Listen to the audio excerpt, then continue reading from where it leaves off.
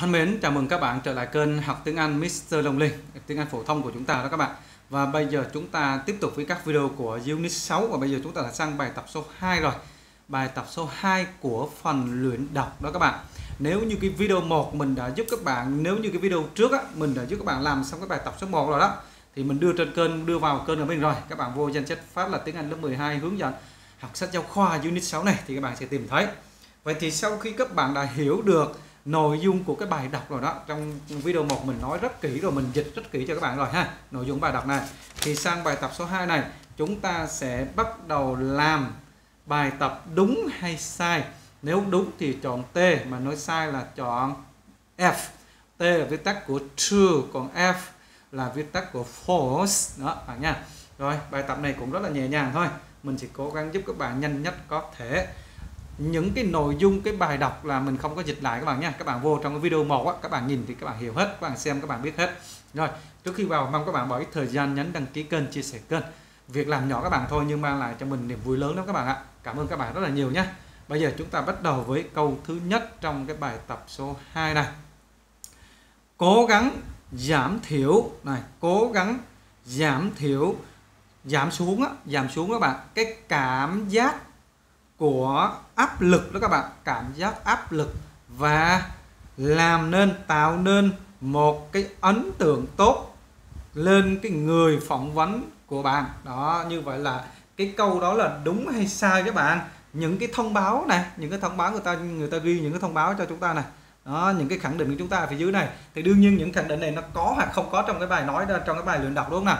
Thế thì trong bài luyện đọc của chúng ta rất là dễ đây, đầu tiên là cố gắng tạo ấn tượng tốt là giảm thiểu cảm giác bị áp lực này. Đây các bạn này, giảm thiểu cảm giác bị áp lực và tạo nên một ấn tượng tốt này cho người phỏng vấn của bạn đó.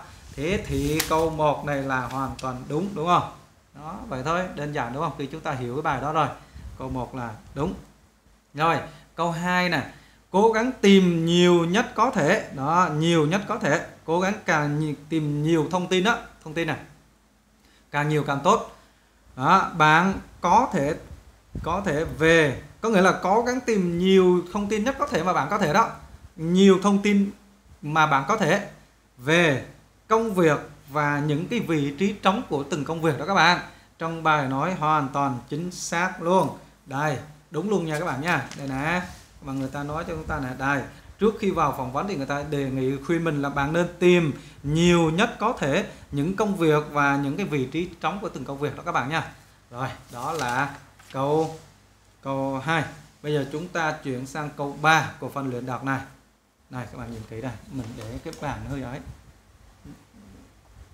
Rồi, câu 3 nha. Câu 3 đến câu 8 luôn. Câu 3 là mang theo, bạn mang theo cái gì? Mang theo một cái thư giới thiệu này các bạn này. Mà không phải thư giới thiệu mà mang theo một cái đơn xin việc. Cái chỗ này là đơn xin việc nè. Và hồ sơ của bạn mang vô phòng phỏng vấn đi vô chỗ phỏng vấn. Chỗ này là không đúng các bạn nha. Chỗ này nhiều bạn rất dễ lộn nè. Trước khi vào phỏng vấn mới gửi cái này đến công ty. Được chưa? Còn khi vào phỏng vấn á, thì không phải mang theo cái đơn đơn xin việc đâu mà khi vào phỏng vấn á, thì nhớ mang theo cái gì? Đây nhớ mang theo các bạn là những cái chứng nhận trường lớp này bằng nào này chứng chỉ nào này mang theo. Và cái thư giới thiệu của giáo viên hoặc là cái nhà tuyển dụng trước đây của mình. Vậy thì không có cái thư đơn xin việc nha. Nhớ là không mang phải đơn từ xin việc. Cho nên câu này là sai. Đó các bạn nha. For false to to đây false đây.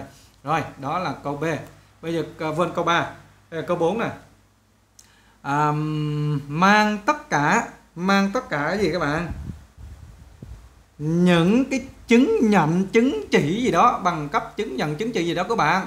Và những cái thư giới thiệu đó những thư giới thiệu này với bạn mang theo. Câu này hoàn toàn đúng đúng không? Đây này mình vừa cho bạn xem không cần xem lại tốn thời gian đúng không? Vậy là câu 4 là đúng. Câu 5 nhớ ăn mặc gọn gàng và trang trọng lịch sự đó câu này hoàn toàn đúng luôn. Đó, các bạn nhìn đây. Vì sao đúng thì các bạn vô đây, các bạn nhìn thấy này, ăn mặc làm sao? Đây.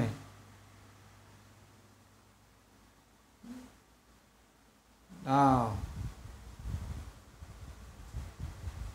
đây, đừng ăn mặc à quên, đừng quên này, đừng quên ăn mặc gọn gàng và trang trọng này. Đó, các bạn thấy chưa? Có nghĩa là nhớ đó, đừng quên là nhớ đó. Được chưa? Rồi, câu 5 câu 6 là gì? Giọng nói của bạn, lời nói, giọng nói của bạn nên rõ ràng và lịch sự. Rõ ràng và lịch sự chắc chắn rồi, hoàn toàn chính xác. Vì sao hoàn toàn chính xác? Thì trong bài nói rất rõ này các bạn. Giọng nói của chúng ta là phải lịch sự gọn gàng, chân thành, chân thật. Đâu rồi? Cái chỗ này vừa trong video 1 mình dịch cho các bạn rất kỹ rồi. Nằm trong đoạn nào đây?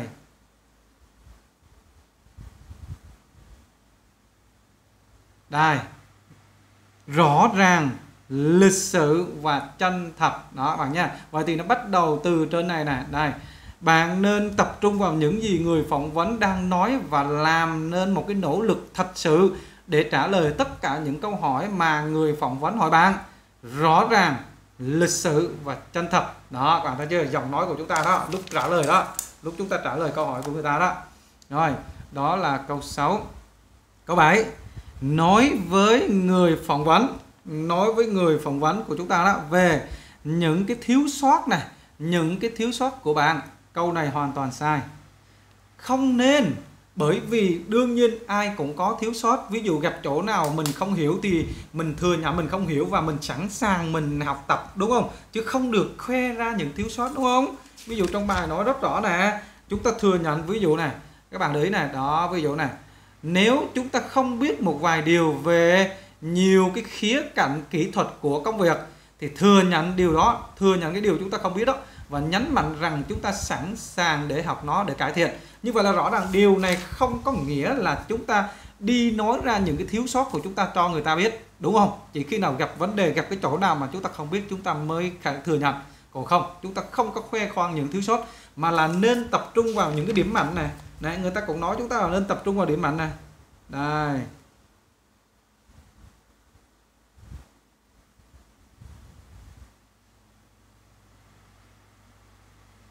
đây bạn nha. Rồi. Chỗ nào? Đây, đó, đó, chỗ nào. đây các bạn nhìn đây.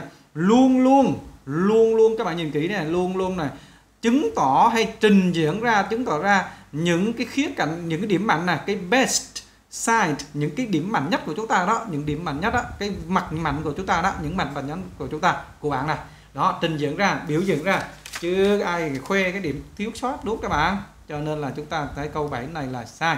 Rồi, câu 8 nhớ nói lời chào tạm biệt đối với người phỏng vấn trước khi rời phỏng vấn. Đúng rồi, câu này hoàn toàn đúng các bạn nhé. Đây nhớ nói lời chào tạm biệt này. Đừng quên đừng quên nói lời goodbye đến người phỏng vấn trước khi rời cái văn phòng phỏng vấn đúng không? Rồi như vậy là chúng ta đã làm xong cái bài tập số 2 này. Thế thì trong cái sau khi chúng ta làm bài tập số 2 xong á thì nó có một cái uh, có một cái um, phần before là là after you read các bạn. After you read này á là cũng dễ thôi không có gì khó cả là người ta đề nghị mình là làm việc theo nhóm thảo luận câu hỏi là những cái lời khuyên nào đó cái đoạn lời khuyên nào cái đoạn nào mà được cho trong cái bài đọc cái này mà bạn tìm thấy có ít nhất hoặc là ít có ít nhất ít có lợi ít có ít á, ít có lợi ích á, ít có lợi ích nhất đây là nhiều lợi ích nhất này là ít lợi ích nhất tại sao? Vậy thì chúng ta có thể trả lời câu này theo cái hướng này các bạn này. Đây mình có thể ghi là tôi thấy rằng, tôi thấy rằng lời khuyên, ví dụ lời khuyên ở cái đoạn đoạn này, đó. Đây, ví dụ lời khuyên ở cái đoạn đầu tiên đây. Đây, lời khuyên ở đầu tiên đầu tiên chẳng hạn này. Mà nên lời khuyên ở đoạn thứ hai chứ. Đoạn này là đoạn đầu. Này, đoạn hai gọi là paragraph 2 đúng không nào? Đó, thì đó, mình gọi là lời khuyên của cái đoạn thứ hai. Đây, thì thì nó có ít hơn, đúng không? Đó, lời khuyên ở đoạn thứ hai, ví dụ đoạn 2 hay là section 2 cũng được section section, đó, section nhé các bạn nhầm o này, chữ này chữ o nhá các bạn nhá S E K T I O N đó, section 2 chẳng hạn nhá section 2 tôi thấy lời khuyên ở đoạn thứ hai là hữu ích nhất, có giá trị nhất. Thì mình có thể trả lời tại sao? Thì bây giờ mình đi vô cái đoạn số 2 này, mình trả lời này các bạn này đây, ví dụ mình trả lời cái đoạn số 2 này rất là dễ, mình thấy à ví dụ là mình nói sao? Đây cái việc tìm kiếm thông tin nhiều á, là nó có rất rất là hữu ích cho chúng ta đúng không? Để chúng ta có sự lựa chọn tốt nhất cho, cho công việc rồi mình phải gửi cái đơn xin việc đến người ta, đúng không nào? Và cái hồ sơ nữa. Đó, cái điều này nó cũng rất là hợp lý cho chúng ta. Đó, các bạn cứ nói chung là mình ghi toàn bộ, mình ghi những cái này, nó tốt cho chúng ta là được rồi, các bạn nha. Nói chung cái phần after you read này nó cũng không quan trọng lắm, cho nên hôm nay thầy không tập trung nhiều thời gian chỗ này. Những cái unit trước nó quan trọng thì thầy tập trung nhiều, còn phần này nó không có quan trọng lắm, cho nên thầy cũng không có nói nhiều. Các bạn có thông tin hết trong cái bài đọc rồi. Rồi, như vậy là tất cả hai cái bài đọc của, cái phần luyện đọc của chúng ta cũng đã kết thúc hy vọng các bạn thấy các video này tốt cho các bạn và các bạn tiếp tục nhấn đăng ký kênh, chia sẻ kênh để đón nhận thêm nhiều video hay các bạn ha. Một lần nữa, cảm ơn các bạn rất là nhiều. Hẹn các bạn các video tiếp theo ở phần luyện nói, cả rồi các phần luyện nghe nữa, vân vân, và các phần tiếp theo nữa. Rồi, chào các bạn. Hẹn các bạn các video tiếp theo. Cảm ơn các bạn rất là nhiều nhé.